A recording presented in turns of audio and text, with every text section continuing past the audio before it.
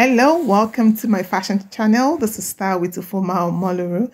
Today I want to show you how to cut a beautiful sassy asymmetric halter neck top and this is perfect for the autumn days or for summer.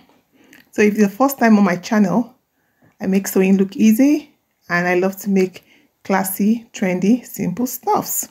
So today I'm going to be needing my Ankara fabric, a contrasting plain fabric to go with it. I chose to use blue because the blue is highlighted on the fabric you see on my table. I'm also going to be needing my scissors, chalk, my tape, and some elastic. So before we start cutting today's um, top, if you're new to my channel, you need to subscribe so you don't miss my videos as I post. And don't forget, you need to always turn on your notification bell as well so you see them as they drop. Don't forget, I love to read from you and feel free to give me your thumbs up if you enjoyed the video. So I'm going to be using 1.5 um, yards of Ankara fabric. So I folded this on the table already. As you can see, you can determine how much of the 1.5 you need. It depends on how long you want it. But for me, I'm using the full length of my Ankara fabric, as you can see folded on my table. So I'm going to fold into four. It's already folded into four. So the longer part, I want to be the length of the blouse. Okay, and the shorter part is going to be to the side. But you can decide to move it to the way you like. So for me, this particular top is going to be made in a way that you can wear two ways. You can turn the other way round and have the cross at the back or you can wear it having it in front. It's a very versatile top and I know you're going to enjoy wearing this. So let's get into today's class. So you see my fabric already folded and on the side of the table I've kept my crepe fabric crepe satin you can use any fabric but make sure the fabric isn't too soft that it collapses on you when it's been worn so now fold your fabric into four like you're going to be cutting a flare. Make sure that um, it is equal at the edges. If you need to, you can get um, a pressing iron and iron it out. And note, you can also use English fabric. It can be crepe, it can be chiffon, it can be any fabric you want. I just love using Ankara fabric. So now, once it's folded into four, you're going to discover that one side is longer and the other is shorter. So the part that is longer is what you see and across is the shorter part of my fold. If you've watched my earlier videos on how I cut flare, you're going to see it's basically the same principle. Cutting this particular top and cutting the flare. So I'm going to get the circumference of my top as the base or the top of the blouse. Okay, the asymmetric top because it has to have a part on top. So just above your bust area, that would be the circumference of the top. So I'm going to measure from the pointed angle, like you can see. I'm going to measure it systematically like you do with a flare. So you don't want to fuss over this. It's really simple. It's not tricky. So you measure according to what your bust really is. For me, I'm going to be using, I want this to be worn for by a size 12 to 18, even 20. Hence, I need a circumference of about 42 inches at the top.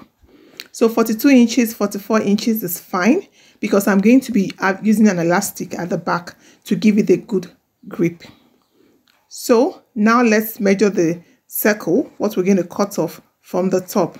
And remember, you always have to measure from that pointed angle. If what you measured is not enough, then feel free, you can always move down to make it wider.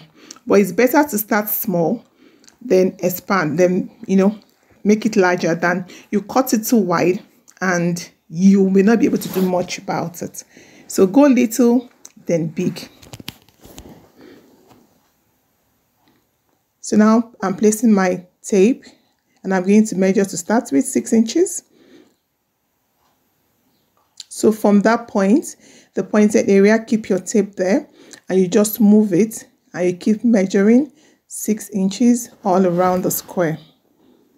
So get the chalk and trace connecting the dots. So you want to make that a bit legible. I don't know if you can see mine but even if you can't see on your own fabric you should be able to see that. So now i'm going to get my tape and i'm going to measure all across those dotted lines that I've traced together. Okay, and you see the way I cuffed my tape.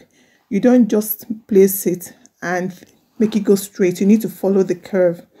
So if you follow the curve and it's whatever it gives you times four, if it gives you what you need, it's fine. If it's too much, then you need to move up and reduce it. If it's too little, then what you need is to come lower a little bit. So remember I said I wanted 42 inches. So what I got was not up to 42 inches. So I'm going to just make it a little deeper with about one inch or half an inch. It depends. So I'm now expanding or widening the circumference of my top. So now again, once again, I'm using the tape to measure to make sure that it's accurate. So remember, multiply by 4 whatever you get because this fabric is folded into 4. So now that I've gotten it and I'm okay with what I have on my fabric, I am cutting that out like you see on the table. So for this particular top, you don't need to have any opening. It's just going to be one straight fabric, no joining at the side. And that's why I love the top as well. So now I'm opening that up so you can see that from that part, is looking shorter what I told you earlier. You can let that be. If you want it to be like a crop top, it's fine. That length can work for you. But for me, I don't want it to be a crop top. I want it to be a little longer. So I'm going to be using the longer part as the blouse length. So you can see already we have the jagged edges. We have the asymmetric look at the bottom. On a normal flare, would have curved the bottom, but this I did not curve. So now I have the width of my top. Now we, we need to get two straps to make the strap, the cross straps for this particular asymmetric top. So I have my crepe already folded and I've added the fusible interfacing or the gum stay to give it, to make it more firm because I don't want it moving all around. And I cut that 4 inches wide by 25 inches long. You can make yours longer and adjust as you go on. So Make sure your its fusible interfacing is not too hard so that it's not, it's not difficult to turn over. After you must have stitched the side. So before I am going to place the strap on this particular cut, I need to add a band. Okay, so I've also cut a band and my band that I cut here, I made it four inches, okay, wide, and I made it the length of the base or the circumference of the top. You remember we had 42. So what I also did was to get the band 42 and I stitched, I closed it while it was open. Then I fold to keep the stitches inside and I'm going to fix that round the top before I now decide to place the strap that I've already stitched. But make sure that you stitch, you make sure the stitch is in the middle okay? Because if it's at the side it may not look so the finishing may not be so good. So i moved the stitching in middle before i ironed it out. So turn over iron out and make sure it's nice and flat before you now start to place. So when we're going to be placing the strap i'm not going to be placing it straight. This is the tricky part. It needs to be slanted because it needs to go sideways okay? So before i place the strap i'm going to stitch this band to the asymmetric top but I'm going to be leaving an opening at the back because I want to add an elastic. The reason I'm adding an elastic is so that even if you're a smaller size you can wear, what it will do is, it's going to just cinch the top together, okay? It won't be too loose on top. If you are bigger, it's just going to pull apart. So if you do ready to wear, this is an excellent um, idea what you can do with um, your ready to wear clothes because it makes it multi-purpose it makes it a one size fit. So i'm notching the both sides of the top and that serves as the end as a side of my top. I just want to have a clear vision when i'm making adding the band. Now i'm also going to notch the center So it's very important to notch the center because it will also give you a good guide on how to place the strap and how to also fix the band so that everything can be centralized.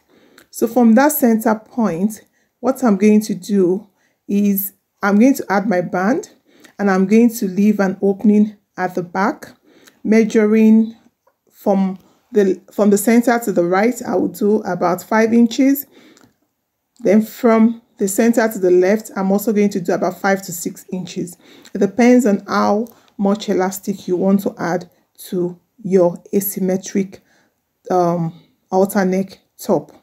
So do what works for you and it's okay. There's no other fast rule. So now I've added the band and you can see that's the opening. So I'm going to get my um, one inch elastic so since I left about 12 inches um, opening I'm going to get an 8 inches elastic band 8, inch, 8, 8 inches sorry 8 inches long elastic band. And I'm going to add it before I now stitch on the band okay? So get your elastic. It has to be wide enough. It shouldn't be tiny. Hence i'm using one inch wide elastic. So after i've um fixed that i'm going to fix the strap at the back but i just also want to get a clear picture of how it has to be at the back so i'm going to fix my strap pin so that i can know what to do when i must have fixed the elastic so I'm folding, opening up my asymmetric top again, as you can see. So when you open that up, what it gives you is like a rectangle. Amazing, isn't it? Yeah, that's the beauty of sewing. Just something straight when you close off is like a flare and it changes the whole outlook. So I'm really folding well, properly, and folding back into four. Now I'm going to get a chalk and I'm going to just mark where the center would be. So from there, is going to guide me how I need to place my strap in the in front.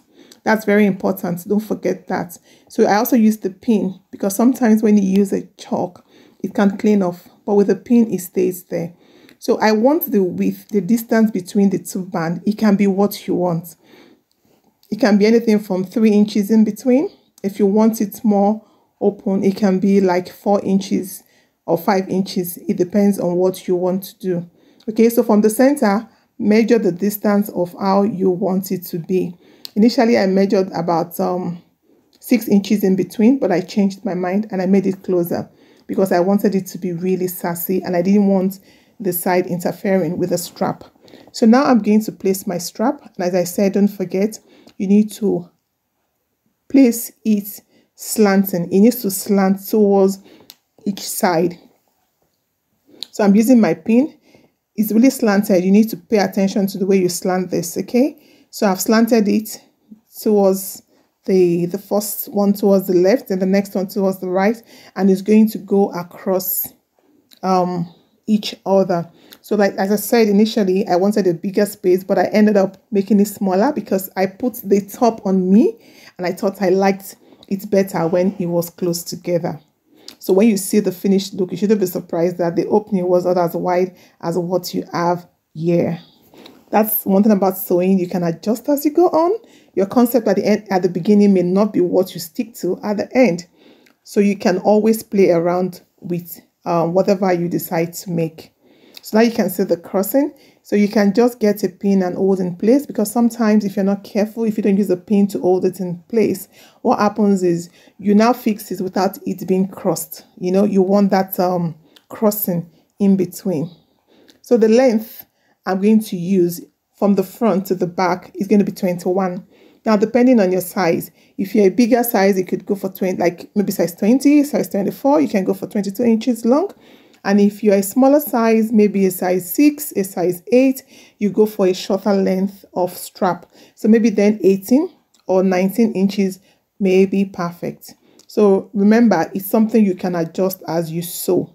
So before you're going to do the final tacking, it's always necessary after pinning that you you what's it called wear on you before you do the final stitching or on a mannequin to see what it looks like. So at the back as well, I just want to get the positioning right. I don't want a situation where I will stitch, then I would have to um, take it the stitches out and stitch again you know all those loosening can be really stressful and sometimes also you can end up tearing or cutting your fabric when you are doing that so make use of your pins and you know put on a dummy or yourself to see that it's perfect so you can see me holding it straight out and I'm folding again so that I can get the center at the back because from that center I can measure both ways having equal distance from the middle to fix my strap so that it will not be tilting to one side. Many tailors, when they make clothes, don't pay attention to this, and that's why sometimes you make your clothes and it's not just looking right, or it doesn't, it's not making sense, or it's not what you want. So you really need to take your time when you make clothes, and so precision is important, calculation is important. So from that center, I'm going to mark about five inches or six inches because of the elastic. If you're not adding elastic, then you can do four and a half inches or four inches. But because of the elastic I'll be adding, I made mine a little wider. So I'm making it six inches because the elastic is going to pull it back. Okay, and when you wear it, it will open up. So five to six inches is fine. But like I say, do what works for you. It depends on where you want it to be placed. So I've marked with a chalk where I want to place my strap. So what I will do now is take off the pins, get my elastic, and I'm going to stitch inside the inside the um, band. So I'm just going to open up, and at that point where I stopped the stitching of the band to the asymmetric top, I'm going to get my pin and pin inside. So I'm going to go so I will stitch on that, hold it down, or use your pin to hold it together. Make sure your band is folded into two equal halves then now I'll do the same thing to the other side as well. So you pull the elastic and you just get a pin and hold it down. So when you're stitching, pull as you stitch and it will just um, fit into your alternate asymmetric top. All right, so you see that's what I've done. So when I'm going to be stitching, I would pull. Now it's done, as you can see. All right, so I fixed that in and voila our lovely sassy summer top is ready to be worn. So what you need to do now is give it a good iron, fold the edges and you are done. So you see what I talked about the versatility, the the elastic at the back makes it wearable by different sizes. So it's a one size fits. So that's all for today's video. I hope you enjoyed watching my video. If you did, please don't forget, give me a thumbs up. And till I come your way next week is bye from me.